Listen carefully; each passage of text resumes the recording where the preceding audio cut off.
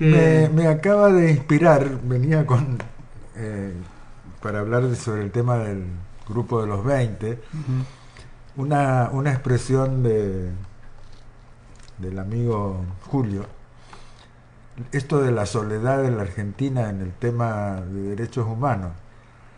Y a veces eh, la impresión que da la participación de la Argentina en el grupo de los 20 también da una impresión de soledad por lo que plantea la Argentina a través de nuestra presidenta. Pero es una soledad muy... No es la soledad del que está al, final del pelotón o que se quedó en el camino. Es la soledad del que va adelante. una soledad estimulante, ¿no? Sí, además que trata de, digamos, es como el que arrastra, digamos, a, los que vienen atrás, ¿no? Que los, los guía para nuevas, nuevas fronteras.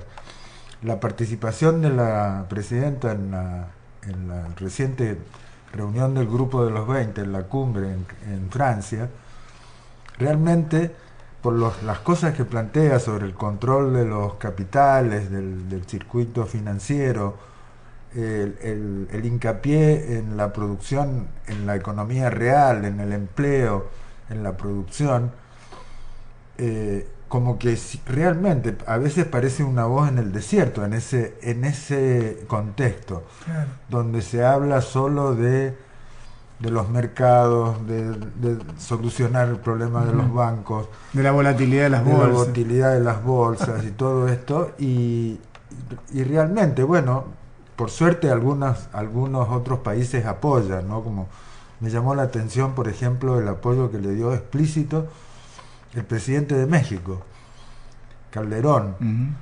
porque eh, no es, digamos, dentro de las distintas orientaciones ideológicas actuales en los países latinoamericanos, eh, México no es, digamos, de los eh, es un, el gobierno mexicano es neoliberal. Sin embargo, apoyó abiertamente la, la posición argentina respecto del control de los capitales, ¿no? Y bueno, yo creo que el lástima en este grupo de los 20 que esas estas nuevas políticas que se proponen de, apoyo a la producción, de, de, economía real, mm, no siempre tienen el, el, eco que deberían tener. Y uno lee la, la declaración final y bueno, es bastante bastante leída, digamos, bastante así... Aguachenta, ¿no? Aguachenta. Eh, por supuesto, siempre la terminología diplomática no es este, eh, contundente. Pero bueno, por lo menos en esta declaración de, esta cumbre, eh, en los primeros, primeros párrafos, reasume, cosa que no había pasado en las dos cumbres anteriores, el criterio de darle prioridad a la economía real por encima del circuito financiero. ¿no? Claro. Es interesante porque en algún momento a Cristina Fernández, y ella creo que entre paréntesis lo dice, cuando baja un poquito el tono, si me vieran los que me escuchaban en la época de universitaria, ¿no? Ella está hablando de volver al capitalismo en serio.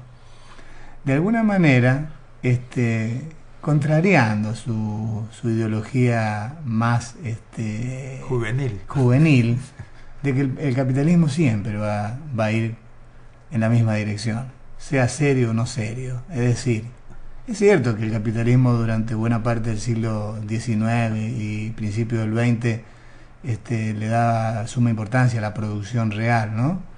Pero ya sabemos que las ambiciones de los capitalistas que tienen preponderancia en el mercado, este, sus intereses tan mezquinos, generalmente llevan a ese tipo de tergiversaciones este, para sacar el máximo de provecho a la especulación, ¿por qué no? Este, a esa composición que ya investigará Carlos Mar este, mucho mejor que cualquiera de nosotros, este, que en la propia naturaleza del capitalismo está el germen de, digamos, de esa corrupción. y de la concentración. De la concentración y de producir tanta desigualdad, ¿no es cierto? Pero eh, Es decir, tiene sentido la expresión esta del capitalismo en serio Claro. en el- por el contexto. Es decir, acá Exacto. somos todos capitalistas, bueno, pero cumplamos algunas reglas Exacto. básicas del capitalismo. claro, ¿no? claro, claro. No seamos Este, tan salvajes. ¿eh? Porque además la presidenta planteó otro tema muy serio, y es que esta forma de capitalismo no serio es totalmente eh, contradictorio con la democracia. Totalmente. Entonces, Eso fue muy bueno lo que dijo, sí. este, estamos haciendo, estamos trabajando, digamos, el- el- en general, los, eh, digamos, el poder mundial trabaja con esos dos eh, conceptos, ¿no es cierto? El capitalismo como doctrina económica y la democracia como doctrina política. Pero, pero hay que congeniarlos los dos. Entonces, cuando el capitalismo se co- reconcentra y además vive del- de, la especulación, la democracia no Bueno. tiene mucho por, por venir, digamos. Viniendo de una presidenta argentina que ha eh, producido un cambio histórico en todo un proceso junto con Néstor Kirchner en la Argentina, en un país que este, tuvo cinco presidentes en una semana y que este, se llevó, entre comillas, puesto a un presidente que se tuvo que escapar en helicóptero con 35 muertos producto de la represión. Digamos, es un país que estalló por llevar adelante las políticas del consenso de Washington, justamente que son, eh, recién hablabas de la declaración final, Miguel, pero eh, son las mismas políticas que le están sugiriendo a Grecia y que este, le vienen sugiriendo a Italia y que se han sido aplicadas en España. Entonces tampoco podría ser, digamos, de, muy diferente la, la declaración final porque son lo que hoy le están pidiendo a este país, ¿no? Claro. Pero ella está advirtiendo como diciendo, miren que esto se lleva puesto gobierno, digamos, o sea que eh, lo que le está pasando a Papandreou ahora nos pasó a nosotros hace unos años atrás y somos el ejemplo vivo de que la cosa puede ir para un lado o para el otro, depende de lo que ustedes Sí, sí. apliquen y definan. Papandreou empezó la serie de cinco cambios de presidente en, en Grecia. Vos sabés que en el periodismo, en el periodismo de Grecia y también en algunos sectores de la oposición, se está hablando de república bananera, que es un concepto que se acuñó a propósito de las inestabilidades propiciadas por Estados Unidos de los países centroamericanos. Y como el, principal producto era la banana, de allí quedaron lo de repúblicas bananeras. En esto del desprestigio de la democracia como consecuencia de un capitalismo que no es serio, ¿eh? para utilizar las palabras de la presidenta. Muy interesante esa asociación que hizo. Se va a desprestigiar por, por este camino la democracia y a dónde nos va a llevar este capitalismo no serio. Y, y lo, Muy delicado. Lo interesante y llamativo, ¿no? En la misma cuna de la democracia, ¿no? En Claro, precisamente en Grecia, claro. Este, y el. Ya que hablas del, de las repúblicas bananeras, vamos a pasar a otro tema que, digamos, noticia de la semana, del domingo. Eh, no es porque creamos que en Centroamérica son repúblicas bananeras, pero se lo aplicaron a ellos. En la- sí, ha habido dos elecciones bastante interesantes, digamos, para analizar en Centroamérica.